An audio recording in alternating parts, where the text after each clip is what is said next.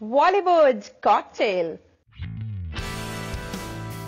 दिव्यवीर और निक प्रियंका की शादी के बाद आपको भले ही लग रहा हो, इस साल एंटरटेनमेंट इंडस्ट्री की बड़ी शादियाँ हो चुकी हैं अगर आपको बता दें, साल 2018 जाते जाते भी एक और बड़ी मैरिज सेरेमनी को विटनेस करने वाला है यस ये शादी किसी और की नहीं, बल्कि साउथ के one of the famous S S Rajamouli के बेटे एस एस कार्तिकेय की है। एस एस कार्तिकेय की शादी पूजा प्रसाद से हो रही है और ये शादी कहीं और नहीं, बल्कि पिंक सिटी जयपुर में होने वाली है। इस शादी के लिए ऑलरेडी बड़े बड़े सितारे जयपुर पहुँच चुके हैं। प्रियंका और निक की शादी उमैद पैलेस जयपुर में बड़े ही ग्रैंड तरीके से हुई थी। वहीं एस एस राजमौली के बेटे एस एस कार्तिकेय की शादी होटल फेयर माउंट जयपुर से की जा रही है। यूँ तो यह शादी कल ही होनी है, मगर इस शादी के लिए ऑलरेडी सितारे जयपुर पहुँच चुके हैं, जिसमें जूनियर एनटीआर से लेकर रामचरण नानी राणा दगुबती,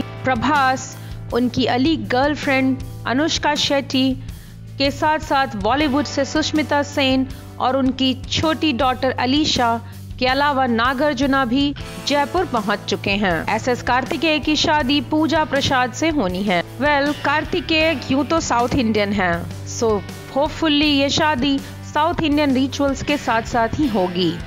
शादी के रस्म रिवाज मेहंदी और संगीत आज होने हैं जिसके बाद 30 तारीख को शादी होगी।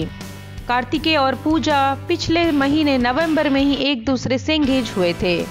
पूजा प्रसाद एक कैरनेटिक सिंगर हैं। और तेलुगु सुपरस्टार जगपति बाबू की भतीजी हैं।